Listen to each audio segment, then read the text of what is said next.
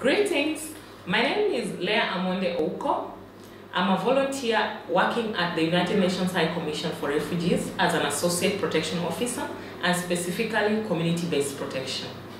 This means that I'm in constant contact with persons of specific needs.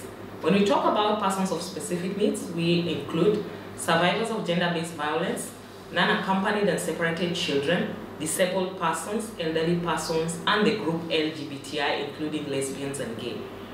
These people who I've mentioned above have experienced traumatic events and violence. They have different individual and specific needs.